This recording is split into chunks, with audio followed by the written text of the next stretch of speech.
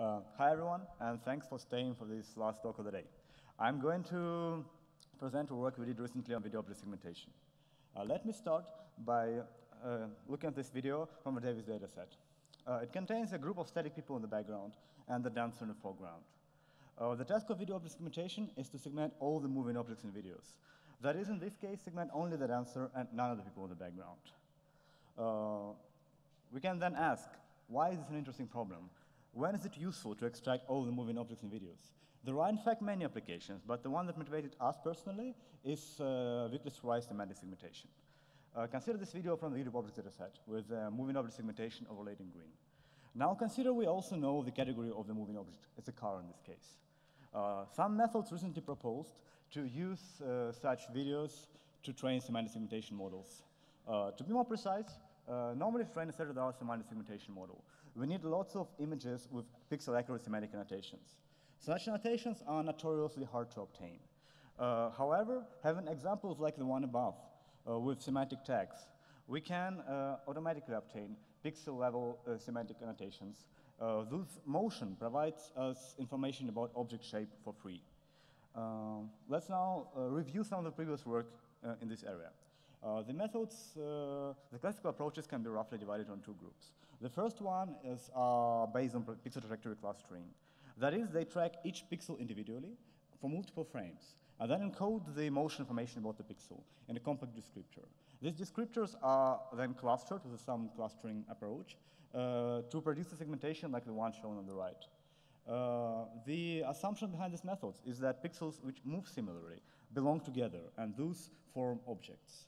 Uh, the methods in this group show uh, a very good performance in practice, but they quite often are performed by a second group of approaches, the ones based on uh, motion heuristics and appearance. These methods uh, treat each frame pair individually and compute the corresponding optical flow between the pair of frames. Then they define some heuristics to identify independent object motion in the frame. Uh, these estimates are further refined and propagated throughout the video with appearance cues. Our method is similar to the second group of, of, approaches, in that it also capitalizes on the frame-level motion segmentation and heavily relies on appearance to improve the segmentations and propagate them in, in the video. Uh, it is, however, fully learning-based and doesn't contain any heuristics, which allows us to, us to achieve superior results. Um, to be more precise, our method takes a sequence of frames as input. Then for every pair of frames, it extracts optical flow. This optical flow is passed uh, to a motion network, a model trained to segment independent object motion in the flow field. Uh, these segmentations are, however, quite often inaccurate due to errors in optical flow estimation. Uh, thus, we uh, augment our model with an appearance stream, which captures semantic information of the frame, which can be later used to improve the, uh, the motion segmentation errors. Uh, we concatenate the appearance encoding, shown in green, with the motion segmentation in yellow, and then pass it to our visual memory model, which is realized as the conv Uh, it combines the appearance and motion information and aggregates a spatial temporal representation of the moving object, which we then use to produce the final segmentation. Let's review each component of our framework in a bit more detail. Uh, our appearance network is a state-of-the-art semantic segmentation model, DeepLab, which is trained on Pascal VOC. We extract the FC6 features of this uh, network as our appearance encoding. Our motion network is a model specifically trained for, to segmenting independent uh, object motion in the optical flow field. It is learned on a dataset of synthetic videos with available ground truth flow uh, as well as ground truth moving object annotations. We can learn it in a fully supervised way. It takes optical flow as input and passes it through to the two branches of the network, the encoding branch and the decoding branch. This allows it to achieve both uh, a large field of view and a high resolution of the output. It produces a pixel uh, level segmentation of the moving objects. And the assumption behind this model is that uh, independent object motion produces patterns in the flow field, which the network can learn to capture. Much like semantic segmentation models learn to capture patterns in RGB images corresponding to semantic categories. The motion segmentation produced by this model is concatenated with appearance encoding and passed to a visual memory model, which is realized as a ConvGRU.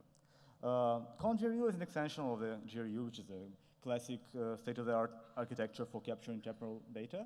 Its uh, key component is a state vector, which is updated in every time step with the current input.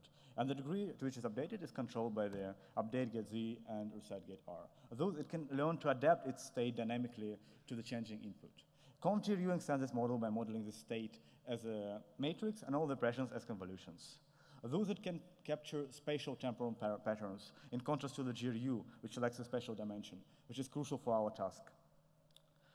And to sum up, our model processes a frame, a video frame by frame. And for each frame, it extracts motion and appearance information, concatenates them, and passes to the conv GRU, uh, which aggregates a spatial temporal representation of the moving object. Consider, however, a video of the cat on the left. The cat is mostly static in the beginning and only starts to move later in the video. so if we want to segment it in every frame, such a purely feed-forward model clearly will fail. Thus, we apply our conv GRU also in the backwards direction, from the last frame to the first one. The representations uh, produced by both uh, are then concatenated to produce segmentation in every frame, which uh, takes the whole video into account. Uh, to train our model, we've fixed the weights of the appearance and motion network, pre-trained on Pascal VOC and FT3D respectively, due to memory constraints, and only train the visual memory module. Uh, for that, uh, we use the training set of the Davis dataset, which consists of uh, 30 videos with pixel-accurate annotations of the moving objects. Those we can also learn our model in a fully supervised way. Uh, I present the qualitative results uh, on the validation set of Davis. Uh, the performance of this dataset is measured uh, in terms of IOU, which captures the accuracy of the segmentation, and temporal stability, which measures how stable are the segmentations between consecutive frames. And performance on the second measure, uh, uh, the lower numbers in indicate better results. Uh, we compare uh, to the method of uh, Papazoglou et al., which was the state-of-the-art method on this dataset by the time of submission, and to our previous work, which is essentially the motion stream of our network, applied to each frame individually with some simple post-processing steps. Uh, this frame-level model already outperforms the method of Papazoglou by more than 14%, showing the benefit of learning-based methods over heuristic-based methods. Our full approach further improves this result by 6% by utilizing appearance information and uh, temporal consistency. On the temporal stability measure, however, the frame-level method uh, predictably fails because it doesn't model the temporal dimension at all. Our full model improves this result by more than 30% by explicitly modeling the temporal dimension of the data with the conv GRU. Uh, let's now see some uh, image results uh, of our model. on the left, we show the output of the motion stream, and on the right, the final result of the model. Um, in the first sequence, the motion stream segments the moving water as well as the object, while, whereas our final model is able to focus on the surfer by utilizing the appearance. In the next video, uh, the motion stream produces uh, some mistakes as well uh, due to inaccuracies in the optical flow estimation. Our full model, however, is able to robustly correct these mistakes, and also the predictions are temporally smooth. The final video demonstrates the effects of bidirectional processing.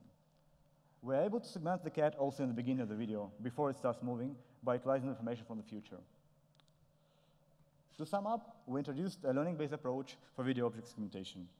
Uh, sorry for that. Uh, it combines motion and appearance cues with a visual memory model, which learns to aggregate uh, the object representation. Uh, more results available in the post tomorrow, and the code is available online. Thank you.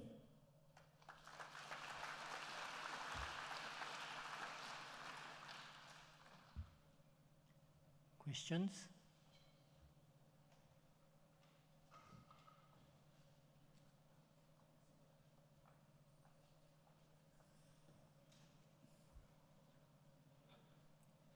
Okay, let me start. So the term visual memory is very intriguing, very interesting.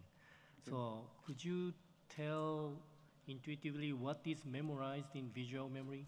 Uh, yes, that's actually a very interesting question indeed, and uh, we uh, looked at that a lot, and uh, it seems that it learns some sort of uh, short-term tracking, so it really aggregates what objects are predicted as moving often and learns to smooth this information over time. So yeah, it's a kind of short-term tracking, I think, and motion suppression. I mean noise suppression, sorry. What is the spatial resolution of visual memory? Can you tell? Uh, it's uh, uh, 32 by 32 pixels. Well, feature pixels, yeah. Any other questions? Okay, then let's thank speaker again. Thank you.